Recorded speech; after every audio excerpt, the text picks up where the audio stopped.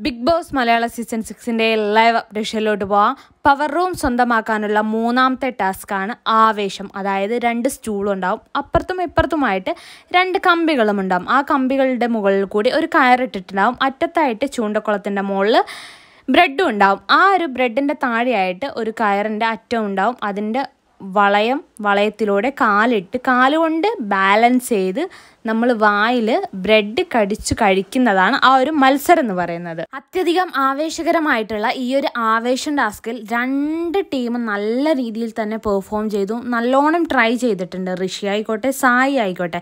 ഋഷി bread കടിച്ച് അവസാനം bread താഴെ വിൽക്കുന്ന അവസ്ഥയൊക്കെ ഉണ്ടായിട്ട് പോലും അദ്ദേഹം അത് മാക്സിമം ചെയ്യാൻ വേണ്ടിയിട്ട് ശ്രമിച്ചു എന്നതാണ് ഒരു വാസ്തവം. ഈ ഒരു ഗെയിമിൽ വിജയം കൈവരിച്ചിട്ടുള്ളത് സീക്രട്ട് ഏജന്റ് ആയിട്ടുള്ള സായി കൃഷ്ണയാണ് നല്ല രീതിയിൽ തന്നെ ട്രൈ ചെയ്തിട്ടുണ്ട്. അദ്ദേഹത്തിന്റെ മാക്സിമം ആ ഒരു ഗെയിമിൽ കൊടുക്കുന്നത് ലൈവിൽ കണ്ടിട്ടുമുണ്ട്. എന്തായാലും ഋഷിയും മോശമൊന്നുമല്ല. അദ്ദേഹവും നല്ലോണം ചെയ്യാൻ വേണ്ടിയിട്ട് ശ്രമിച്ചിരുന്നു. പവർ ടീമോ ആയിട്ടുള്ള മൂന്നാമത്തെ ടാസ്കും ഇവിടെ അവസാനിച്ചിരിക്കുകയാണ്. കൂടുതൽ അപ്ഡേഷനുകൾക്കായി ചാനൽ സബ്സ്ക്രൈബ് ചെയ്യുക.